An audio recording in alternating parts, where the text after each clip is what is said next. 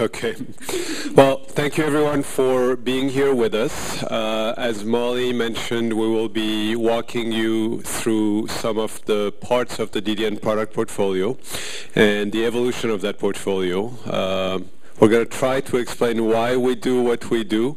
Uh, fundamentally, we're still very much an HPC company. Uh, that's our core.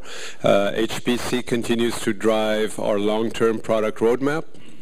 Um, what has been really, really interesting to watch over the last several years is the adoption by enterprise customers of HPC tools, which help them accelerate their workflows, be more competitive, and do things that they could not do before. Uh, and that has given us an opportunity to really broaden and expand our reach in the market uh, from government agencies and universities, which I think is the vast representation here is around those areas uh, into enterprise customers who are struggling with the same types of challenges that uh, we have been solving in this space for many, many years, but they are now starting to see the benefits of. Um, so at a very high level, you know, DDN just very briefly started in the late 90s, focused on uh, solving the, the I.O. challenges that large government agencies and academia were, were faced with. Um, did that for a number of years, uh, grew the company into uh, the largest private storage company in the world. We've been that for, for quite a few years. Uh, the company continues to grow very nicely, so double-digit growth, uh, profitable, um, you know, we have the benefit of being independent as an organization, which gives us the ability to really respond to your needs uh, and the things that you ask us to do in, in a fairly efficient manner. We don't have to go and ask permission from, you know, investors and shareholders and all that. It's a very easy process to make decisions at DDN. Uh, we have roughly 600 people in about 20 countries, so fairly distributed uh, from an organizational standpoint. We go to market uh, directly as well as through VARs, resellers, distributors, uh, and partners. Um, so as you know, we are providers of storage systems and solutions uh, first and foremost, and so we attach to other things. And so as a result, we work very closely with systems companies and integrators. And, you know, we're in, in terms of where the company is headquartered, uh, we are in California, although uh, we are fairly distributed. These are some of the locations uh, where DDN has employees. Many of these locations are uh, technology centers.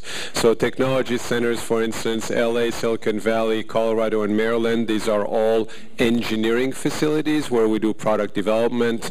Uh, we have a benchmarking center, uh, oops, benchmarking center uh, in Dusseldorf for Europe. Uh, we set up an engineering facility in Paris, France, uh, which we are scaling very, very quickly. Uh, we started it about a year ago. Uh, lots of really bright engineers in that facility, and then a strong uh, technological presence in Japan to serve the Asia-Pacific market. So that's kind of an overview of some of the DDN locations. in terms of the product portfolio, portfolio evolution, um, we started investing very heavily four or five years ago uh, into looking not just at uh, storage systems and the delivery of content and the processing of content with block and file, which historically is what DDN was doing, but we started looking at the end-to-end uh, data management in organizations. End-to-end uh, with really two primary thrusts. One of them was within a data center, how can we deliver better efficiency um, and better performance through the applications which you are running in your data centers. Uh, so not just looking at performance optimization in storage, but kind of looking at, okay, what type of media and how can we um, mix and match different types of media. And by that I mean solid state, high performance disk drives, high capacity, lower cost disk drives. How do you mix those things together? And then the interplay between the storage layer both the delivery of block and embedding file systems into the interconnect layer and the processor layer uh, because that's what you need to do in order to have the applications run at, at higher levels of performance. Uh, so again, platforms, the evolution of platforms from storage only to really end-to-end. So how do we better utilize processors? How do we better utilize interconnect? I mean, there are lots of technological advances uh, which are starting to happen, driven by silicon vendors, uh, which give us the ability to layer software on top of and get far better efficiencies looking at the end-to-end. Uh, layering software on top, so we'll be talking about this uh, in some level of depth. IME, which is an application accelerator, which is powered and enabled by solid-state and non-volatile memory. WOS, uh, which is a software layer that provides the ability to collaborate, uh, distribute content, and do live archive and then obviously file systems, and then also looking at systems and how can we uh, design systems that are better suited at running the applications that you have to deal with day in, day out far more efficiently than you have in the past. Um, HPC, as I, as I, mentioned, really HPC is what continues to drive our uh, technology roadmap. Um, so uh, we look at HPC customers as a way uh, to really ensure that the products that we're developing and the investments that we're making in R&D are well aligned with scale. I mean, HPC continues to be very, very focused on scale uh, and cost-effective scale. So it's always a great mechanism for us to ensure that what we're developing will be suitable, will be applic applicable, and will be best of breed for our HPC users. And then that translates into uh, some of the other markets that we serve. Scalability in web cloud is an area where we've been investing very heavily. I mean, today DDN is the second largest provider of object-based technology behind Amazon. So we have more than 200 billion objects that are being managed uh, in a variety of customer locations. Some of the largest uh, web, cloud, and internet organizations in the world are using DDN as their backbone for object-based technology. So that has given us um, a really different view of uh, scale. I mean, scale in the world of HPC was really measured in read-write bandwidth and, you know, processor capabilities. In the internet world, it's measured in uh, distributed environments where you're looking at a number of data centers. These data centers are interconnected together, and their job is to deliver content and process uh, consumer queries in as close to real time as possible possible at very, very large scale, taking into account um, not just um, optimal price performance and uh, time to resolving a query locally, but also distributed. So the problems that we've solved for these customers revolve around, well, you have hundreds of millions of consumers out there. These consumers are moving all over the world. So today I'm in Frankfurt. I will query my mobile device for something. The data that it needs to pull uh, needs to be in close proximity to Frankfurt. And on Thursday, I will get on a plane and go back to Los Angeles. Well, when I land in Los Angeles, my queries need to come from a data center that is close to Los Angeles. So so the issues of latency and the cost of payload moving from the data centers through the internet to the consumer are problems that we've been solving or helping solve for these types of organizations. And then another area which has proven to be very, very effective for us uh, has to do with profiling and op optimizing applications which are being used by our customers. Uh, we've seen that in a variety of markets where HPC um, infrastructures are beneficial. So, for instance, financial services uh, is a sector where we have been very successful. 40% of the world's largest investment banks are DDN customers today.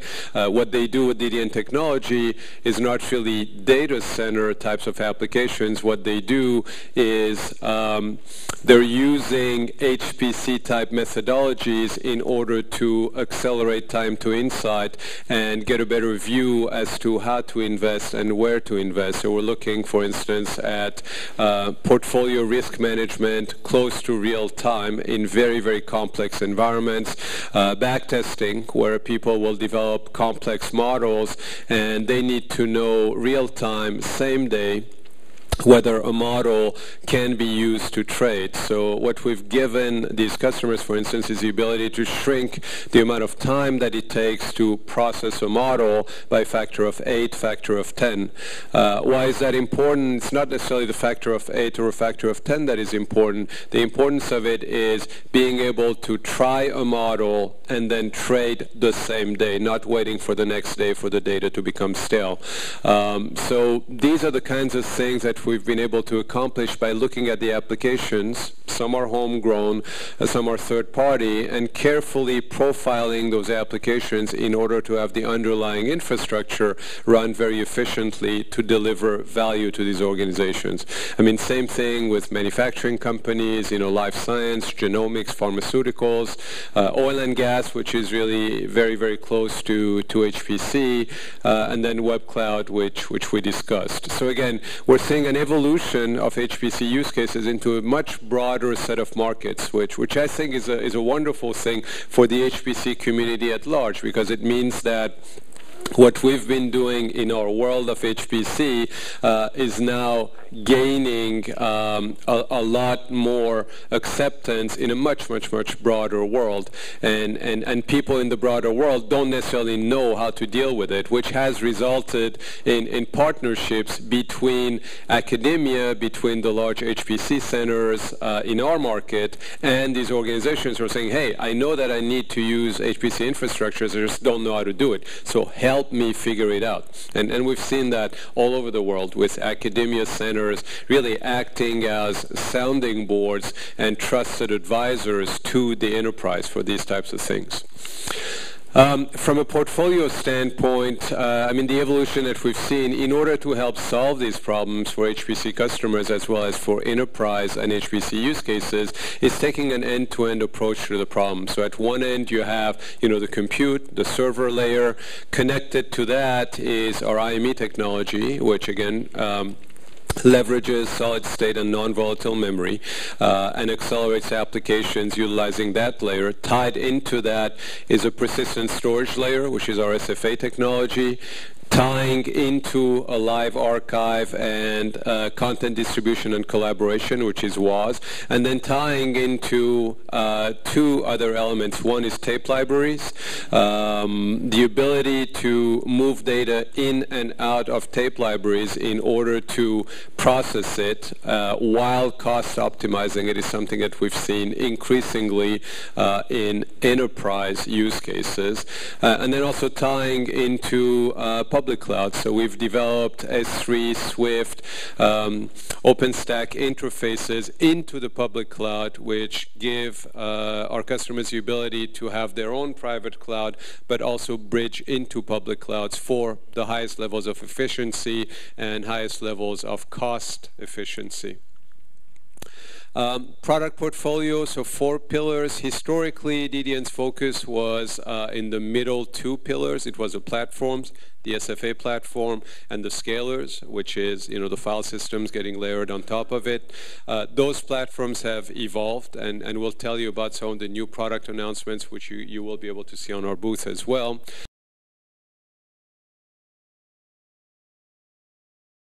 Is content distribution, it's collaboration, and it's live archive. Um, this is a development which we started seven years ago, has been in production for five years, uh, and is gaining adoption in HPC for collaboration and live archive applications. And the newest technology, which uh, is going GA at the end of this quarter, which is our IME um, technology, which we think will help revolutionize all of this by really leveraging and harnessing the power of SSD to accelerate applications. And we'll give you a lot more details uh, about this here. Uh, so the Wolf Creek platform, just, you know, I'll, I'll touch on it uh, very quickly. Uh, there's a lot more details that we'll walk you through. Basically, it's a very versatile platform, um, 60 gigabytes a second of bandwidth, 6 million IOPS, and it can be used in a variety of ways. It can be used um, as a platform uh, to tie into the IME software layer, so application acceleration, populated with uh, solid state. So, so one Wolf Creek platform in an IME mode uh, can saturate at 60 gigabytes a second with solid state. You can also use it as an SFA platform, so you can layer the SFA OS on top of it. You can embed file systems into it. You can hang uh, disks behind it, so you can get north of six petabytes of capacity in one rack. Uh, using the SFA platform. And then internally, you can populate it with SSDs, different types of non-volatile uh, technologies as well as spinning disk. So mix and match of different types of media, mix and match of different applications, just uh, a very high performance, very, very efficient platform that can do lots of different things. Um, IME at a very high level, again, application acceleration. One of the use cases is a burst buffer, which is very applicable to uh, some of the HPC types of environments where uh, we can take ill-behaved applications and applications where the file system is acting as a significant bottleneck, uh, and we can remove those bottlenecks and make the applications run much, much, much faster. I mean, here we're showing an example where uh, a very poorly behaved application uh, because of the file system is slowing things down to 25 megabytes a second. We can take that back to what the platform can really deliver, which is a thousand times more. Uh, obviously, not all applications will be accelerated to that level, but IME is really a means to accelerate applications and remove the bottlenecks which um, have been kind of inserted into it because the applications weren't really developed with these types of scale um, elements in mind 10, 20, 30 years ago, and also because file systems, in, in many instances, uh, take applications and, and, and really slow them down. But we'll, we'll get you in, in, in, in a lot more detail about IME and what it does and the application profiling there. Uh, you know, this is one example which, you know, Dan, who's in the room, uh, attack. This is, uh, you know, S3D. Uh, these are the types of performance gains that you know we've seen in the real world. So this is you know factor of nine, factor of 20 uh, what IME can do. Uh, we are in the process of profiling a very broad range of applications uh, for a very broad set of customer use cases because at the end of the day, what we're looking uh, for IME to do is accelerate the basket of applications that are being used in a given in a given environment and in a given customer setting. and every customer is different, which is why it's a very systematic approach to taking the applications one by one profiling them, optimizing them, and doing that optimization on the IME layer or uh, in those cases where customers have written the applications, there are very interesting things that can be done on both sides in order to streamline things. Um, WOS, which we talked about, and uh, I don't know how much detail we're going to get into with WOS, but again, think of it as uh, an object-based technology, real-time replication, high levels of security, can be distributed across lots of data centers in order to handle objects at very, very large scale. Uh, we have one, so giving you an idea of scale, we have one customer, for instance, uh, who is adding 1 billion objects a week into WOS, uh, distributed across two dozen data centers, and again, serving the needs of customers on mobile devices. So very large scale. I mean, one of the things I um, uh, I've been saying for the past year or two is that I, I, never thought I would see the day where the enterprise and non-HPC customers would achieve levels of scale that were comparable to what we've seen with the labs and academia. Well, well today we're seeing quite a few organizations who are doing things at far greater levels of scale than what is happening in HPC. And I think it's encouraging because it means that what has been happening in this industry is translating into benefits in many other industries. Um, so long term, you know, I thought I would talk very briefly about kind of the long term view. Uh, you know, one of the things uh, we uh, like to do and uh, and our customers encourage us to do, and you know, would would would love to do it for anybody who, who has an interest in that, is really taking a long-term view at, you know, what does the future look like, you know, five years from now, seven years from now, what are the things, what are the trends that are happening which will impact things in a favorable way. Um, so these are just a few which I thought I would, you know, put on a slide and, and share with you. Uh, the first one is uh, we believe that the boundaries between different types of cynical or kind of blurring in together. It used to be that system architectures had a server layer, an interconnect layer, and then a storage layer. We think all of that is merging together, and what will happen is uh, organizations, in order to add value to what you're doing, will have to develop software technologies that take advantage of silicon. And that silicon, it really doesn't matter whether it's node local in the server, uh, whether that server has some SSD or different types of non-volatile memory technology into it or not. The boundaries between these, you know, rigid hierarchies of server interconnect storage are really blurring together. So it's becoming a software model that leverages silicon and can be deployed uh, either as an appliance or can be deployed as software only. So, so that that's one thing that, that we're seeing, um, and and that's why for the past four or five years, uh, more than 90% of our R&D investments have gone into the development of software that can be delivered as an appliance or as software only. Um, the second trend is we believe that intelligent tiering uh, is becoming increasingly important, and it's intelligent tiering not just in terms of, well, I have a non-volatile memory layer and I have a spinning disk layer and I have tape. Uh, we think it will become uh, far more complex and far more efficient by the same token as that, where you'll have different tiers of non-volatile memory, and there are lots of very interesting things that can be done taking advantage of those tiers. Uh, we believe that as the cost of solid state continues to drop, uh, what will happen is architectures will migrate into solid state based uh, for performance and low cost, high capacity based for live archive. And, and the layer in the middle, which today uh, is really most of what is going on in storage, will, will slowly dissipate into these two poles. Now, it won't happen overnight, uh, but this is something that uh, we think will start to happen slowly and intensify over the next four or five years or so. Um, IME and, and, and WOS technologies, we believe uh, that the application acceleration on the one hand and then object-based technology on the other hand initially will uh, coexist with file systems, um, you know, such as Lustre and GPFS and other ones. But over time, we believe that there will be a need for more efficient methodologies, more efficient ways of handling namespace types of challenges and, and tying that into non-volatile memory application acceleration on the one hand and then object-based on the other. Uh, and file systems as we know them will evolve and will change. Uh, and again, that, will happen over, uh, over a period of time. I mean, GPFS and Lustre will certainly continue to exist five years from now, uh, but we believe that more interesting architectures will start to get deployed in customers' environments, and, we will be bringing some of those technologies to market in the years to come.